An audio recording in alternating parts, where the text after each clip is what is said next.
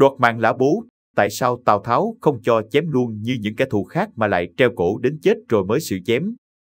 Tại sao Tào Tháo lại phải phức tạp hóa cách xử tử lã bố như vậy? Mục đích của ông ta là gì?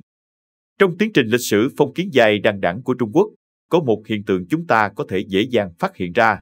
Đó chính là mọi vương triều trong lịch sử đều khó tránh khỏi quá trình diễn biến thịnh suy thay đổi, không ngừng tuần hoàn. Trong tiến trình lịch sử thời cổ đại, có thể nói mỗi một người có chí lớn đều khát khao có thể thành bá chủ thiên hạ, chỉnh chệ ngồi trên ngai vàng cao vời vợi. Trong thời kỳ Tam Quốc loạn lạc, điều này càng được thể hiện rõ ràng. Năm 198 sau công nguyên, Lã Bố cùng lúc bị Tào Tháo và Lưu Bị liên thủ tấn công, phải rút lui về giữ Hạ Bì. Sang năm 199, Lã Bố đã bị Tào Tháo bắt sống. Tuy Lã Bố đã chịu đầu hàng Tào Tháo, nhưng Tào Tháo cuối cùng vẫn chọn phương án giết chết Lã Bố sau khi hỏi ý kiến Lưu Bị. Cùng bị bắt với Lã Bố khi đó là tướng Trần Cung. Cùng bị xử tử nhưng cách chết của hai người này không giống nhau. Trần Cung bị chém đầu luôn, còn Lã Bố lại bị thắt cổ chết trước, sau đó thi thể mới bị chặt đầu. Tại sao lại có sự khác biệt trong cách bức tử kẻ thù như vậy? Nguyên nhân của việc này là gì? Hà cớ gì Tào Tháo lại phải công phu thêm một khâu treo cổ lã bố mà không cho người lấy luôn thủ cấp của đối phương?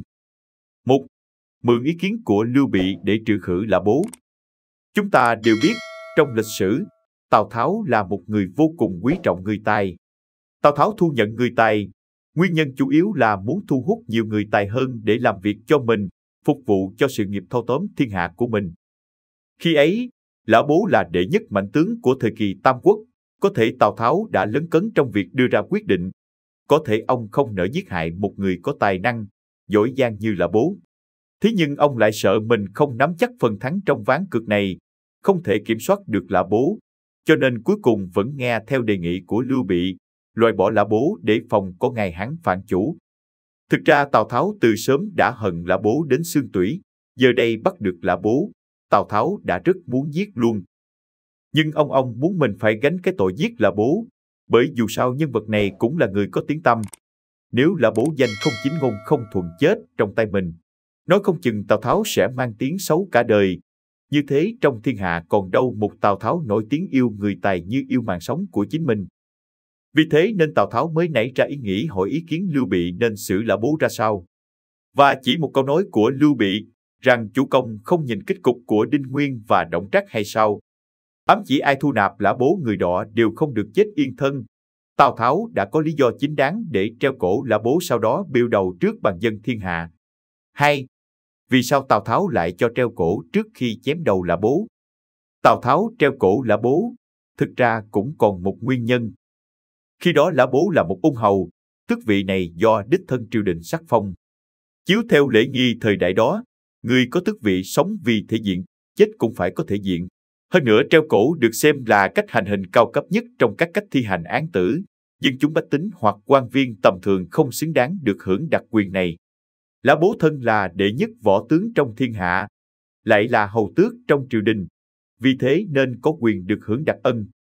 Tuy nhiên sau khi Lã bố đã chết, Tào Tháo vẫn cho chém đầu biểu trước thiên hạ. Mục đích của người đứng đầu tập đoàn Tào Ngụy chính là để cảnh cáo răng đe người đời rằng những ai muốn chống đối lại Tào Tháo đều có kết cục như vậy. Hành động này được xem là điển hình cho phương thức giết một người để răng trăm người, vừa củng cố hình tượng trung thành với hán thất của Tào Tháo, vừa mang tới hiệu quả răng đe, thì uy với các thế lực quân Việt khác trong thiên hạ. Sau khi chết còn bị chặt đầu, rồi không được chung cất đàng hoàng. Việc này đối với một người như Lã Bố mà nói chắc chắn là sự sỉ nhục vô cùng lớn. Một đại tướng anh dũng vô song như lã bố cuối cùng lại phải chịu kết cục như vậy cũng khiến người đời vô cùng cảm khái.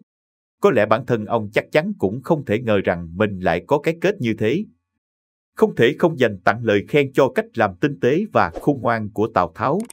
Ông đã mượn ý tứ của Lưu Bị để giết Lã Bố, sau đó thuận lợi thu nạp quân của Lã Bố về dưới trướng của mình. Còn Lưu Bị, vốn dĩ cho rằng có thể thuận lợi nắm được Từ Châu, nào ngờ lại bị người cũ của lã bố truy sát. Tào Tháo vui mừng nhìn đôi bên sát phạt nhau. Đợi đến khi Lưu Bị suy yếu mới quân Minh chính đại nhập cuộc, thâu tóm được toàn bộ Từ Châu, trở thành người thắng đậm nhất trong cuộc chiến này. Video chúng tôi đến đây là kết thúc. Cảm ơn tất cả các bạn đã quan tâm tới xe hay V88 và theo dõi video của chúng tôi. Đừng quên like, share và đăng ký kênh, đặc biệt đừng quên bật chuông để theo dõi những video khác nhanh nhất. Một lần nữa xin cảm ơn tất cả các bạn